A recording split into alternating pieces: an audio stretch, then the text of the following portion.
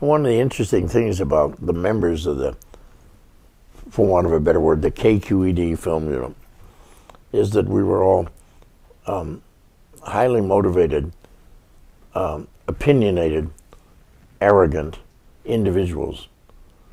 And this would result at times in, in conflict, but never in the process of filming. Nobody, the, you know, Phil would never imagine turning around and saying, "This is not worth filming. Why are we doing it?" We we did follow the pretty much traditional categories of director, cameraman, and whatnot. On the other hand, I had enormous trust in what Phil or Irving were shooting, and from my perspective, that's after all all you had left to make a film with, their images. So I had great respect for them, and they fortunately for me, had considerable respect for me because, if for no other reason, I raised the money to make the film possible. And I'll just put it in those terms. Um, I think also they had a certain appreciation of my ability to make to make a, a, a finished product out of uh, endless hours of, of, fascinating footage. Uh, the uh, everybody contributed something different. I mean, Saul brought a different point of view, and he came in more as a as an idea person and as a direct and, and as a producer than as a director. Uh, and and that's the way he functioned. He's since, as I said earlier, gone on to make many of his own films.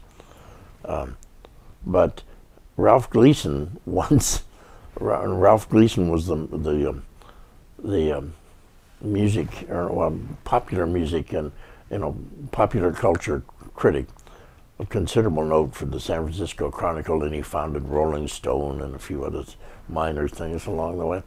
Uh, we did a film together called Anatomy of a Hit, which was actually three films on a uh, an artist named Vince Guaraldi, who was once a pianist for Woody Herman.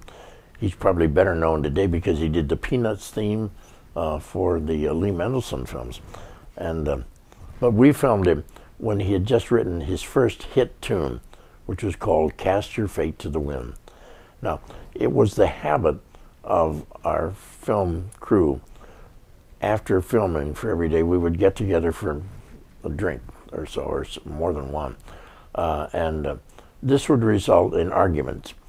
Uh, Phil Greene would you know, launch forth in a diatribe against everything we had shot during the day. It was missing the whole point. We weren't getting anywhere near close to the what the real story.